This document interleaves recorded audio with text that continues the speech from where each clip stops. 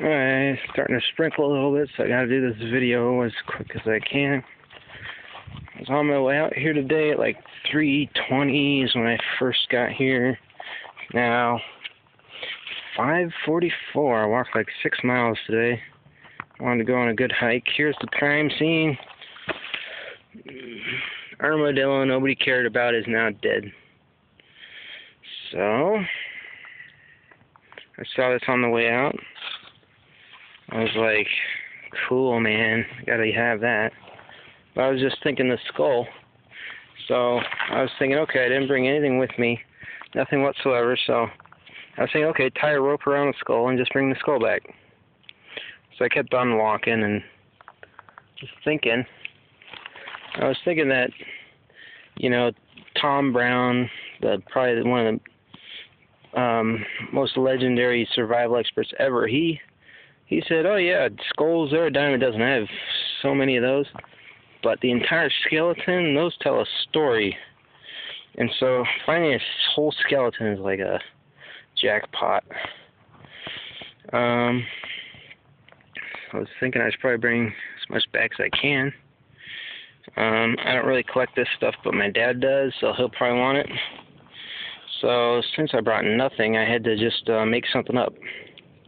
Um, so I was thinking, okay, you can't make a all bags and bags and containers are hard to find in the wilderness. So I was thinking, well, there's an old leaf trick that you just um, go through the leaves of the leaf, make a basket.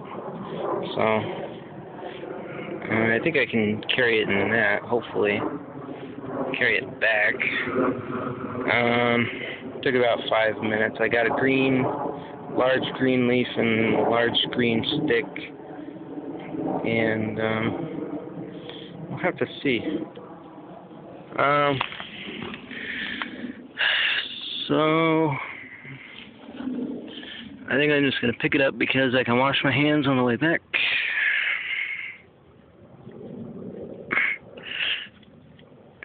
Just like handling rotten meat, which I bet Gordon Ramsay does every day on Kitchen Nightmares.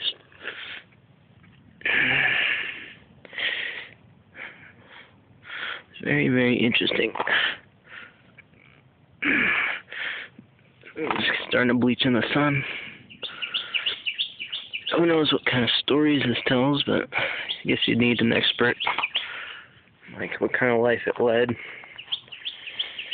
Um, what I really want to do is I want to put this in the bottom so that there's a layer. Should be a layer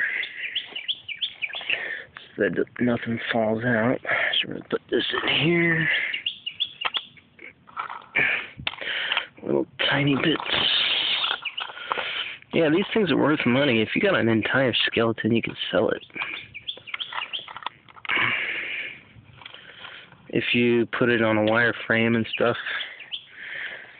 I don't know how much armadillos are going for these days. And this is like this is like keratin.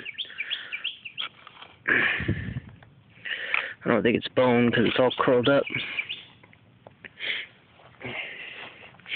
Oh, I just tasted my finger. Oh no. just kidding doesn't stink. I think all the meat's been eaten off of it. I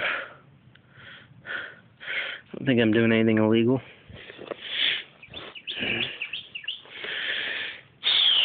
Just a scavenger. Yeah, usually when I find stuff, it's like, I don't care unless it's valuable, because it's not an achievement. I think this basket I made is more of an achievement than finding this.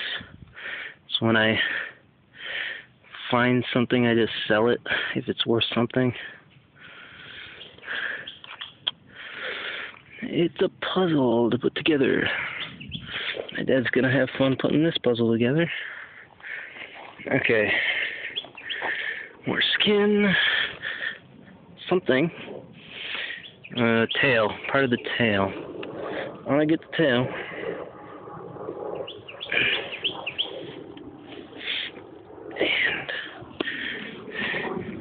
Okay, this video is going on five minutes. See if I can hurry it up. We got Jawbone. Uh, missing teeth. And the rest of the skull. There you go. Jawbone and skull. Oop. Well, it's got some teeth. They mostly eat ants and bugs. They don't need big teeth. Ah, crap. Some of the teeth fell out. Crap. Anything else? Anything else? This is a rock. This is a bone. That's the thing about skeletons is you can't find them all in one place. That's why they're so rare. Usually scattered all around. And alright, I guess that's pretty much it. Well, probably let you see a video on how much my dad likes it or something. I don't know. Um, shoot a video in my dad's office or something. He has a pretty cool office. Alright, that's it.